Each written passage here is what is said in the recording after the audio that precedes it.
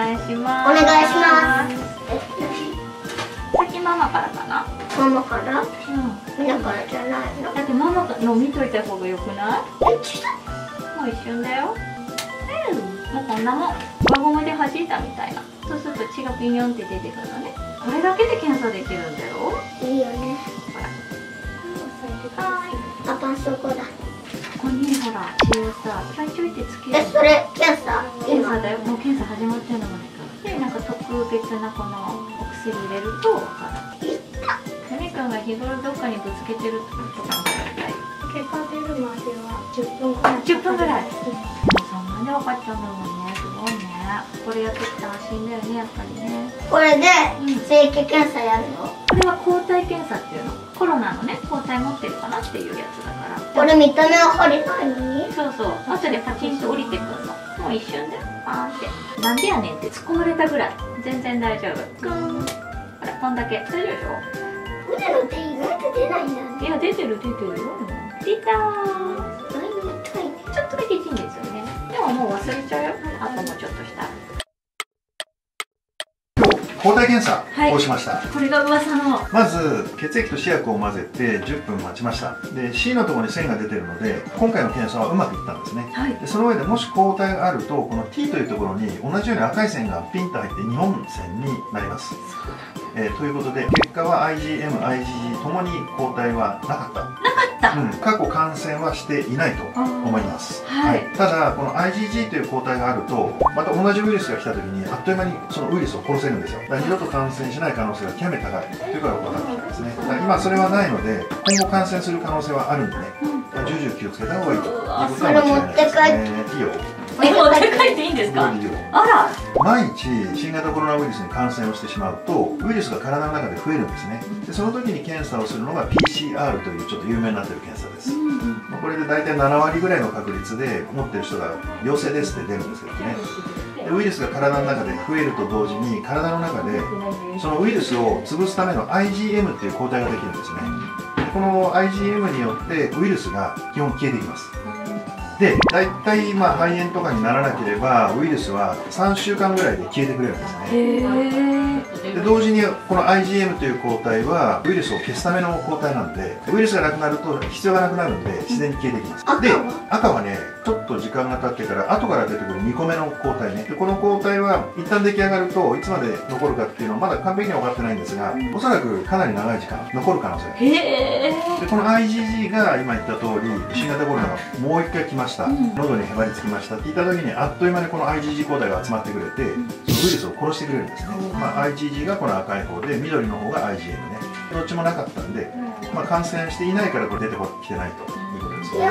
先生あのインフルエンザだったら A 型 B 型とかあるじゃないですか、うん。コロナもコロナのみなんですか？MERS とか SARS とかああそっか。あと普通のコロナとか。普通のコロナもいる。そう同族異種って言って同じ族なんだコロナ族なんだけども、いろんな種類がいるんですよね。うん。その中の一つが新型コロナウイルス種なんです。あそうなんだ。そうこれがその全部の種類に反応ちゃんとするの？します。ああそうでなんだ。ね新型コロナは実はもうすでに160株あるんです。へどんな株ができても一応この抗体検査でもし感染をしていれば過去に感染してましたという証拠を残す。で同じ抗体検査でチェックできるはずなんですねなんだ、はい、ということでまあ一安心でした。だけど油断ができないとできないと。いう結果だったんですなねるほどなるほど、はい、でまあ抗体があるとか定期的にちゃんと抗体検査をしている方あと免疫力を上げるという努力をしている方にはこの免疫抗体ビザっていうのを発行してます。免疫抗体ビザ？ということで、はい。メネ君は検査をしたので免疫抗体ビザをプレゼントします。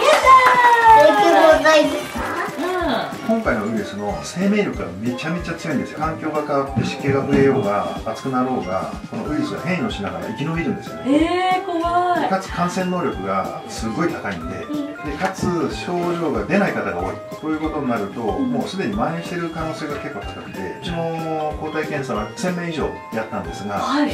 まあ、すでに今23人かな抗体陽性が出てますので、えそのうちの半分以上の方は全く健康状態害したことがない全然普通に生活してたのに、うん。いつの間にか感染してて症状出ず気づかずいつの間にか抗体を持ってるっていう方が結構いるんですよ。ー、強いですねその方って、で今感染者の数減ってきてる理由っていうのは紫外線の量が増えてきて日本でね。紫外線の量が増えると体の中でのビタミン D の活性が高まるんですよ。ビタミン D 活性が高まると感染した時にすごい免疫力が上がるんで症状出ない。出ても軽い症状で収まる。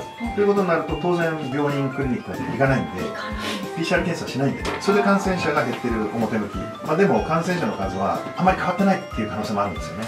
でそうすると第2波がね強烈に来る可能性は否定できないなっていうところなんですよね。いやコロナ怖いですもんねなんか極力もうかからないようにしたいそうでんですけどすねまあ死亡率はめちゃくちゃ低いんでうんただ変異するんで強烈なウイルスに変わらないこともないこともないんでというぐらいに我々の免疫力が落ちて感染する人が出てきたりとかいうことになった時は怖いですけどねじゃあもう本当に免疫力爆上げできるようなものがあれば。そう免疫力爆上げいいですね。爆上げしたい。ですねもしねお薬が開発されたとしても、うんうん。ちょっとやっぱり副作用とかが強かったりとかしたら、ちょっとそれね飲むのもリスクリーだしと思って。アビガンとかイメデシビルとかいったあたり副作用が強烈ですよ。でそんな中で中国では漢方薬で副作用があまりなくてでこの効果が他の薬よりも効くっていうのが出ちゃったんですよ。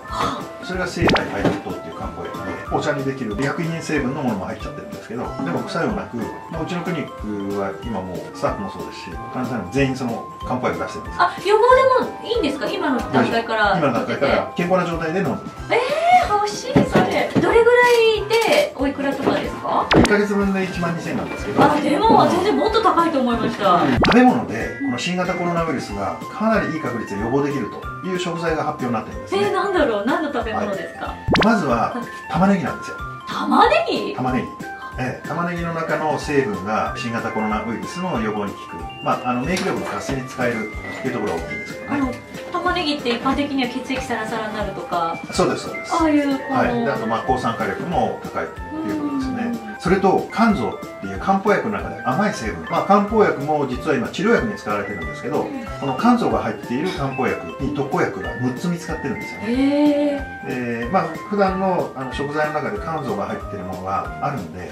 まあ、それを使うというのも一つの手なんですが一番予防に使えるというエビデンスの出たものがあってこれがですね我々が日頃から食べている食材の中に入ってるんです。村井君何だと思う？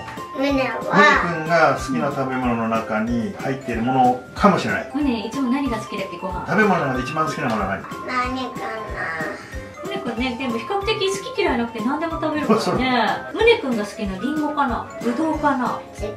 ハンバーグ。辛くないカレー？あそれ。あ正解です。そのカレー。カレー？の中に入っているうん。ターメリック、ウコンが一番予防に使えると、まあ肝臓のえカレーにうんこ入ってんの？やだちょっと違うよ。それちょっと違うこれが実はもともと抗酸化力があって免疫力を高めるっていう働きもあるんですけど、はい。新型コロナを恐れている方の不安神経症から免疫力が下がるんですよ。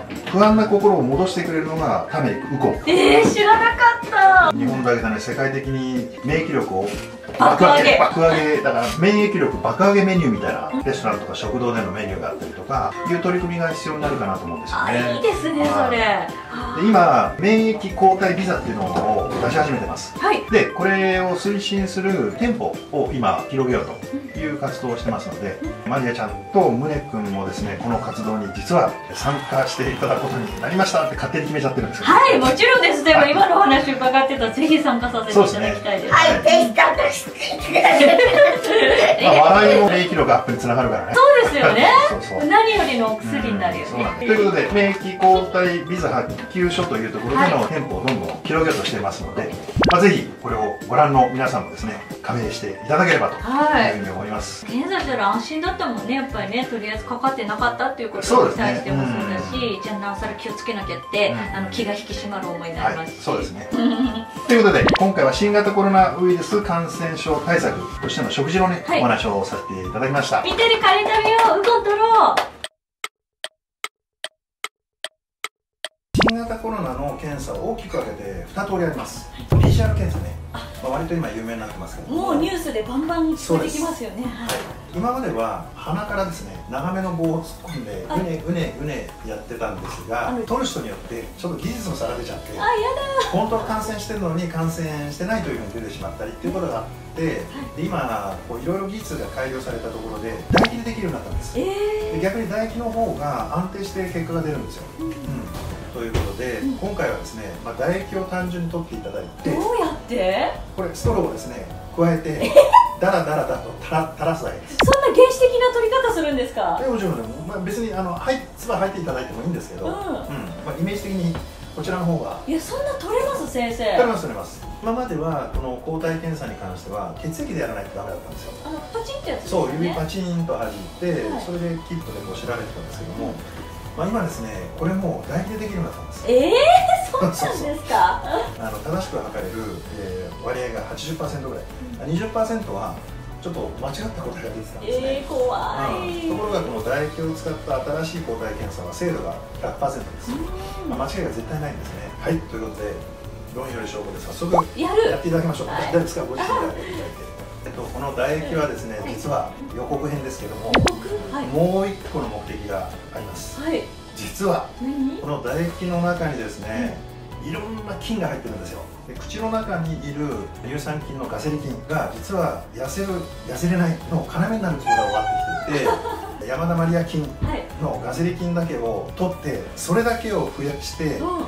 舐めているとうん。痩せちゃうっていうの。それ欲しいそれ欲しい。検査にも使うし、うん。この中の乳酸菌だけを分離して増やしてで、えータブレットにしていってまあそれを自分専用の痩せ薬として内服するということが可能になります、まあ、ということで、まあ、これは2種類の検査とおよび痩せ菌自分自身の痩せ菌を作るための材料になるということで一石三鳥。すごい！一石三鳥！は そうですね、まあ、これも今回使わさせていただきたいと思いますのでいぜひお願いします。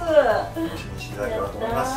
ということで、はい。もうちょっとですね。もうちょっと頑張ります